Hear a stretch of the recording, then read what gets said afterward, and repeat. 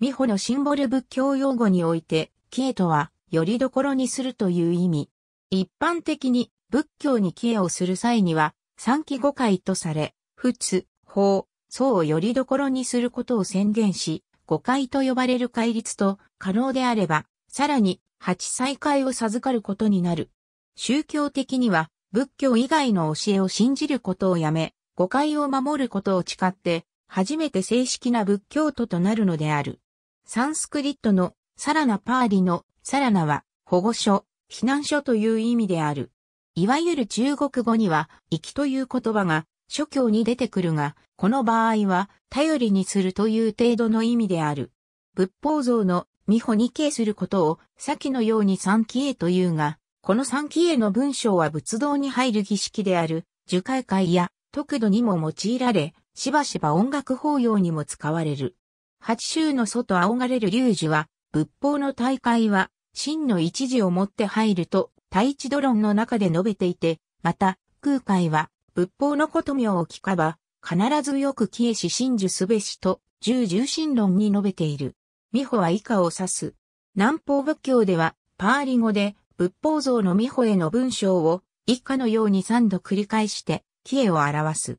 ブーダムサーナムガッチャーミに消えいたしますダマムサーナム、ガッチャーミに消えいたしますサングムサーナムガッチャーミに消えいたしますズチアンピブーダムサーナムガッチャーミに消えいたしますズチアンピダマムサーナムガッチャーミに消えいたしますズチアンピサングムサーナムガッチャーミに消えいたしますタチアンピブーダムサーナムガッチャーミ。私はブッダに消えいたしますタチアンピダマムサーナム。ガッチャーミに消えいたしますタチアンピサングムサーナム。ガッチャーミに消えいたします美穂に消えした後は、以下の文章を毎日3回唱えて、仏法像への誓いを新たにし、ご仏や諸尊、加えてご先祖様の加護を祈るようにする。また、華厳行上行品第7にある以下の経文を3期礼拝文とし、日本の伝統宗派では唱えながら礼拝する場合もある。新宗大家派では、開業下と合わせて以下のように唱える。人心受けがたし、